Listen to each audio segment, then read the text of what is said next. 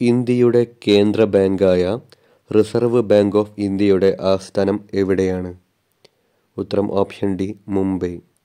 അപ്പോൾ മുംബൈയാണ് ഇന്ത്യയുടെ കേന്ദ്ര ബാങ്കായ റിസർവ് ബാങ്ക് ഓഫ് ഇന്ത്യയുടെ ആസ്ഥാനം. അപ്പോൾ ഇതുമായി ബന്ധപ്പെട്ട കൂടുതൽ കാര്യങ്ങൾ നമുക്ക് നോക്കാം.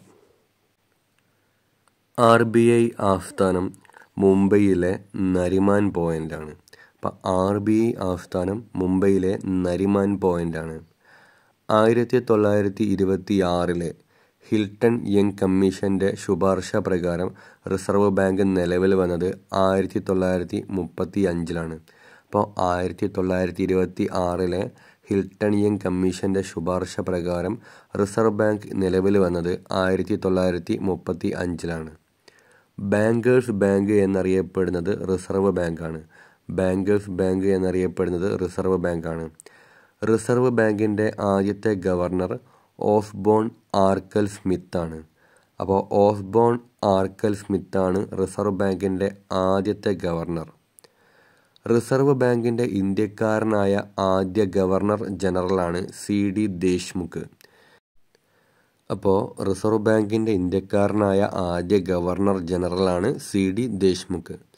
റിസർവ് ബാങ്കിനെ ദേശസാൽക്കരിച്ചത് ആയിരത്തി തൊള്ളായിരത്തി നാൽപ്പത്തി ഒമ്പത് ജനുവരി ഒന്നിനാണ്. ആയിരത്തി തൊള്ളായിരത്തി നാൽപ്പത്തി ഒമ്പത് ജനുവരി ഒന്നിനാണ് റിസർവ് ബാങ്കിനെ ദേശസാൽക്കരിച്ചത്. അന്താരാഷ്ട്ര നാണയനിധിയിൽ ഇന്ത്യയെ പ്രതിനിധീകരിക്കുന്നത് റിസർവ് ബാങ്കാണ്. അന്താരാഷ്ട്ര നാണയനിധിയിൽ ഇന്ത്യയെ പ്രതിനിധീകരിക്കുന്നത് റിസർവ് ബാങ്കാണ്.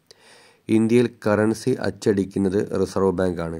ഇന്ത്യയിൽ കറൻസി അച്ചടിക്കുന്നത് റിസർവ് ബാങ്കാണ്. ഒരു രൂപ നോട്ടൊഴികെയുള്ള എല്ലാ കറൻസിയിലും ഒപ്പുവയ്ക്കുന്നത് റിസർവ് ബാങ്ക് ഗവർണറാണ്. അപ്പോൾ റിസർവ് ബാങ്ക് ഗവർണറാണ് ഒരു രൂപ നോട്ടൊഴികെയുള്ള എല്ലാ കറൻസിയിലും ഒപ്പുവയ്ക്കുന്നത്. ഒരു രൂപ നോട്ടിൽ ഒപ്പിടുന്നത് കേന്ദ്ര ധനകാര്യ സെക്രട്ടറിയാണ്. അപ്പോൾ കേന്ദ്ര ധനകാര്യ സെക്രട്ടറിയാണ് ഒരു രൂപ നോട്ടിൽ ഒപ്പിടുന്നത്. ആദ്യമായി കറൻസിയിൽ ഒപ്പുവെച്ച റിസർവ് ബാങ്ക് ഗവർണറാണ് ജെയിംസ് ടെയ്ലർ. ആദ്യമായിട്ട് കറൻസിയിൽ ഒപ്പുവെച്ച റിസർവ് ബാങ്ക് ഗവർണറാണ് ജെയിംസ് ടെയ്ലർ. ഇന്ത്യൻ കറൻസിയിൽ പതിനേഴ് ഭാഷകളിലായി മൂല്യം രേഖപ്പെടുത്തിയിട്ടുണ്ട്. അപ്പോൾ ഇന്ത്യൻ കറൻസിയിൽ പതിനേഴ് ഭാഷകളിലായിട്ട് മൂല്യം രേഖപ്പെടുത്തിയിട്ടുണ്ട്.